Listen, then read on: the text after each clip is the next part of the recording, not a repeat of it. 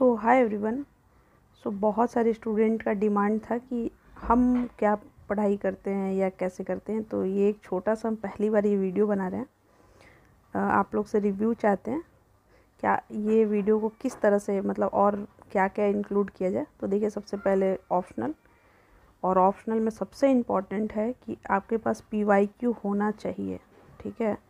ये पहला वीडियो है तो थोड़ा गड़बड़ है आई नो बट और बेहतर किया जा सकता है।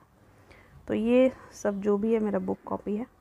ये पहला ही है जिसमें हम सब कुछ दिखा रहे हैं वैसे। तो पहले ऑप्शनल क्योंकि मेरा बहुत टाइम हो गया, बहुत साल। उसके बाद हम सी सेट किए। सी सेट में बहुत अच्छा चीज़ है। आपको बाद में बताएँगे कि सी सेट का बिल्कुल फ्री में बैच मिल जाएगा।